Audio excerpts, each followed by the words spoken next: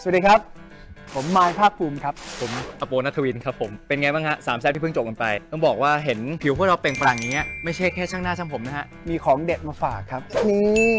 อ่าพิปรินไฮยาพรีเซรั่มครับ ผมก็พกมาเอามีเหมือนกันนี่หว่า คือมันดีตรงที่แบบช่วงเนี้ยพวกเราทำงานบ่อย อืม ถ้าแต่งหน้าเยอะเนี่ยผิวมันจะแห้งใช่ไหมใช่ เพราะว่าเครื่องสำอางมันดูดน้ำแต่ตัวเนี้ยมัน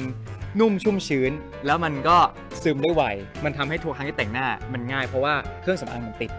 ใช่แล้วที่สำคัญผมยังละอ่อนไงผมยังละอ่อนไงผมแบบว่า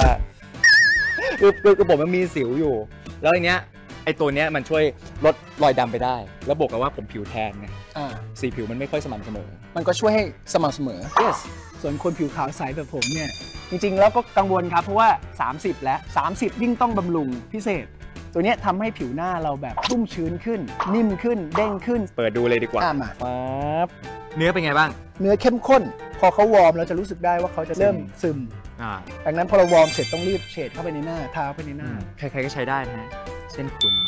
แต่ถ้าใครอยากรู้ว่าเป็นไงนะฮะ ต้องไปซื้อมาลองใช้ อย่าลืมนะครับ ทาตัวนี้ตัวแรกหลังล้างหน้าสำคัญมากครับ ครับผม บ๊ายบาย